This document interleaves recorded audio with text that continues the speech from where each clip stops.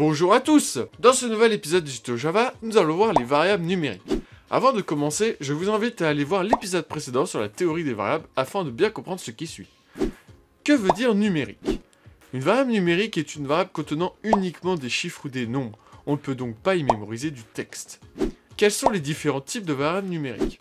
En Java, il y a 6 types de variables numériques. Le byte qui peut contenir seulement un entier relatif très court, le short qui peut contenir un entier relatif court, l'integer, plus connu sous le nom int, qui peut contenir un entier relatif moyen, le long qui peut contenir un entier relatif long, le float qui peut contenir un nombre décimal, et le double qui peut contenir n'importe quel nombre décimal et à double précision. Certains types de variables sont moins utilisés que d'autres, mais il est important de bien choisir le type en fonction de nos besoins.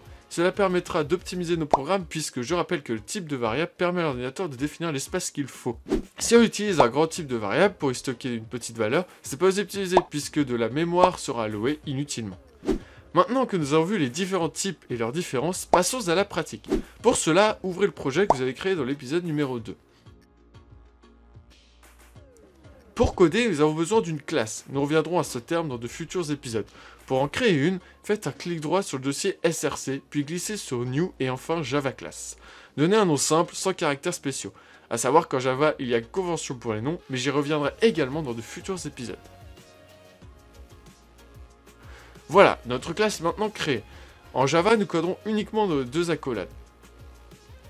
Voyons maintenant comment déclarer une variable. En Java, on déclare une variable en commençant par son type, puis on lui donne un nom, et si on le veut, on lui attribue une valeur grâce à un égal. Toutefois, il y a quelques petites particularités. Pour les variables de type longue, il faut derrière votre valeur ajouter la lettre majuscule L.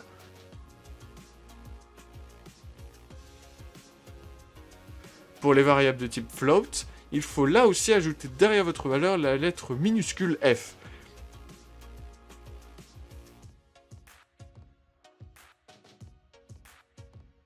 Il faut également, pour le float, si votre nombre est un entier rond, il faut obligatoirement ajouter .0 à la fin.